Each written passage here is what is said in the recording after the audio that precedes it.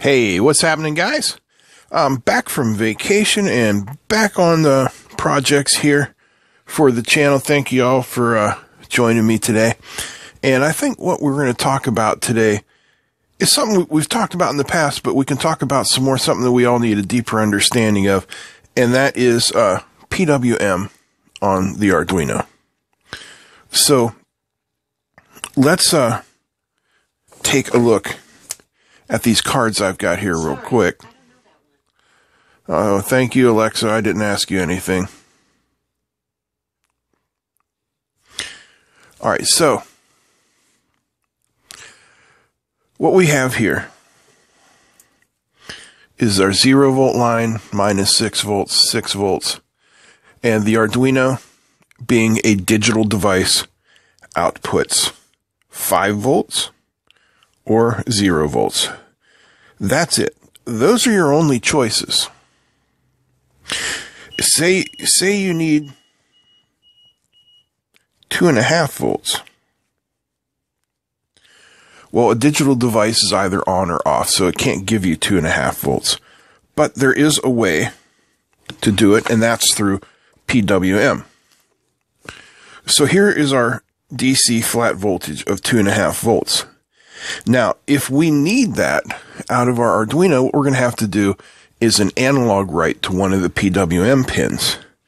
And what the system will then do is it will create a square wave. And for two and a half volts, it's going to be about a 50% duty cycle between five volts and zero volts. And when we average that out, we're going to get two and a half volts. So I've whipped up a little demo here. I hope you guys will enjoy it. Okay.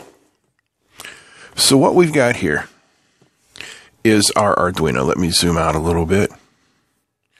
We've got our Arduino here and I've got an LED. This is a green LED with a 220 ohm resistor hooked up to digital pin 3, which is a PWM pin, so that we can vary the brightness. I have this linear 5K potentiometer hooked up to plus 5 volts and ground and the wiper going to A0. Then I just wrote a simple bit of code that reads the position of the uh, analog potentiometer and it will report back to us, or actually it'll output a PWM value.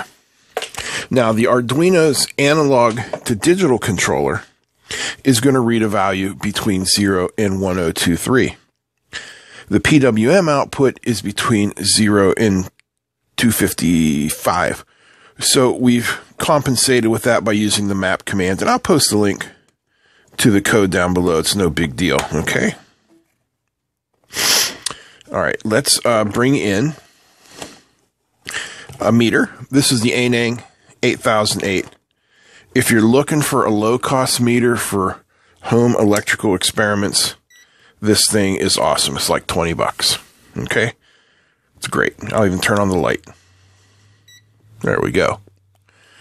Now, I have it hooked up here to the output of pin 3 as well, and the ground goes to my ground rail.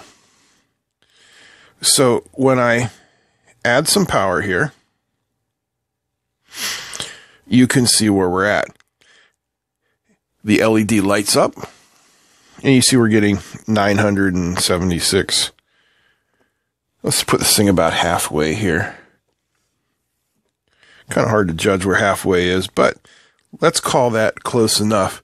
And you see we get 200, 250, 2.5 volts with the potentiometer all the way in that direction we get 4.72 volts. Why not 5 volt? Well, because there's a resistor on there and other losses. But so what we see is the LED varies in brightness. Well, that's what your eye sees. But what's really happening is that LED is being turned on and off 400 times a second. How do we know that? Well, let's swap over here to our frequency counter function, the Hertz function. And when I bring this up, you can see our hertz no matter what position the linear slider is in, unless it's all the way forward. All I have to do is back off a little bit and we're going to get 490. So throughout its entire range, we're always at 490 hertz. Now, if you want to change, there are some there are some different frequencies you can use. Check out the uh, Atmega AT328P datasheet. It'll tell you different pins use different frequencies, and you can change some um, multipliers and change those frequencies as well. But just for standard work, it's 490 hertz no matter what. So, if we come over here now and go to duty cycle mode, I can illustrate to you how this really works. So there's a duty cycle of 2.4%. That means for 97.6% of the cycle, that Arduino is outputting zero volts. And then for 2.4% of the cycle, it is outputting 5 volts. And when we average everything out, we're getting 126 millivolts. Interesting. Okay, so let's go to halfway, or about about halfway. And we're now at 67.4%. So it's now changed to more on than off. So we're at 67.4% on. And if we check our voltage,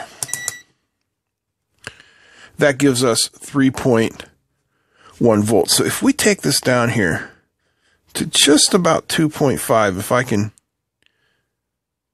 be gentle enough to do it.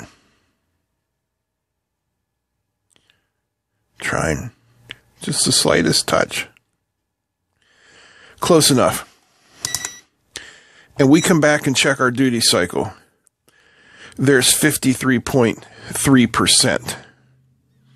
Now, if we come over and check the voltage, that's 2.52. If we come up here and go to full full range, 4.72 volts and check our duty cycle, we're at 100%. So I hope that kind of illustrates for you guys the relationship between voltage, PWM, and duty cycle because unless we're at 100%, the frequency is always the same. And if we can come down here, there might just be a spot Yeah, not really. I was hoping we could get a spot where I could, I, you, the camera would pick up the flickering, but 490 hertz is, is too much for your eye to see. So, PWM. Hope you guys enjoyed this. If you did, give me a thumbs up. Feel free to comment, share, and don't forget to subscribe. I'll put a link to this simple code down below. I'll also put a link to the Aneng 8008. Again, if you're looking for a very low cost multimeter, this thing is excellent. Feel free to comment, share. Don't forget to subscribe. Big thanks to all the patrons. That's it. I'm out. Peace.